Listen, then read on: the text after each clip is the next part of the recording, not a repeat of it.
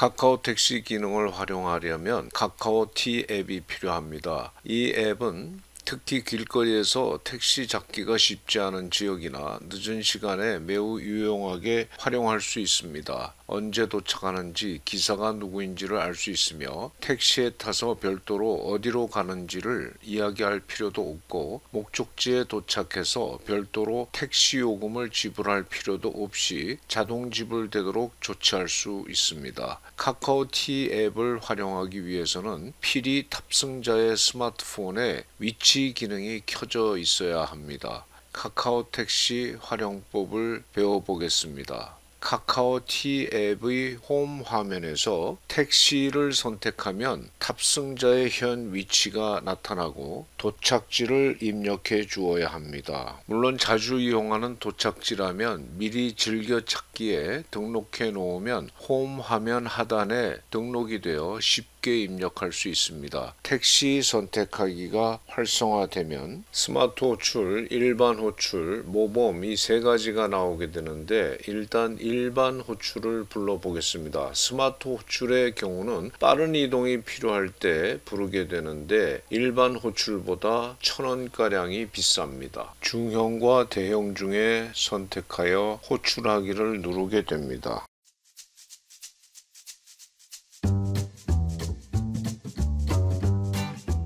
코레일톡 앱을 다운받고 회원 가입을 해놓으면 코레일의 모든 승차권 매매와 승차권 보관, 취소 등의 실행을 스마트폰으로 할 수 있습니다. 회원 가입을 한 후 일단 한번 로그인하고 자동 로그인으로 지정해 놓으면 다음부터는 앱을 열고 다시 로그인할 필요가 없습니다. 이제 고속버스와 항공권 예매 및 구매도 마찬가지로 진행할 수 있습니다. 코레일톡 활용법에 대해서 배워보겠습니다. 코레일톡을 열게 되면 하단에 승차권 예매가 있는데 첫 화면이 승차권 예매입니다. 그 다음에 정기 할인권에 대해서 또는 그 관광 상품에 대해서 나오는데 이것은 별도로 설명하지 않겠습니다. 승차권을 발급받아서 스마트폰에 저장할 수가 있는데 여기서 승차권 확인을 누르면 그 승차권이 보여지게 되죠. 그러면 우선 승차권 예매를 위해서 가장 먼저 해야 되는 일은 편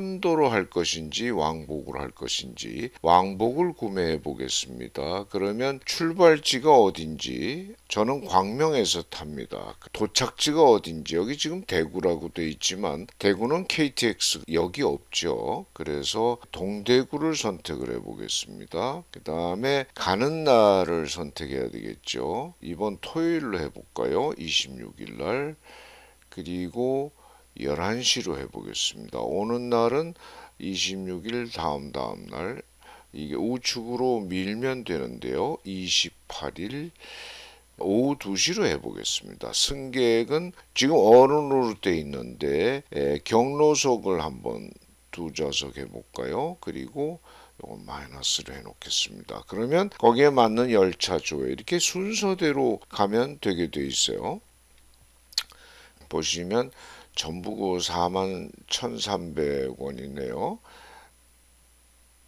11시 16분 걸 한번 해보겠습니다. 열차 시각이 어떤지 동대구까지 12시 47분에 도착하네요. 그 다음에 운임요금 어, 특 실과 일반실이 어떤지 그 다음에 이제 여기서 좌석 선택을 하게 되어 있습니다. 이건 지금 앞에는 역방향이고요.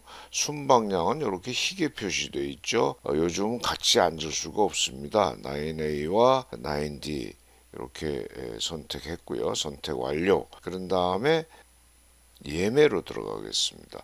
예매를 하게 되면 여러분들 그 회원 번호나 아이디를 적게 되어 있고요. 비밀번호를 적게 되어 있는데 로그인을 하셔야 됩니다. 근데 저는 이제 로그인 이후는 설명하지 않겠습니다. 여러분들이 여기서 지시하는 대로 로그인도 하고 결제를 하시게 되면 승차권이 발행이 되는데 그 승차권은 인쇄를 하실 수도 있고요. 아니면 핸드폰에 저장하는데 요즘 인쇄해서 다니는 사람들 그냥 승차권을 핸드폰에 저장하셔서 타시게 되면 필요시 핸드폰에서 보여주시면 됩니다.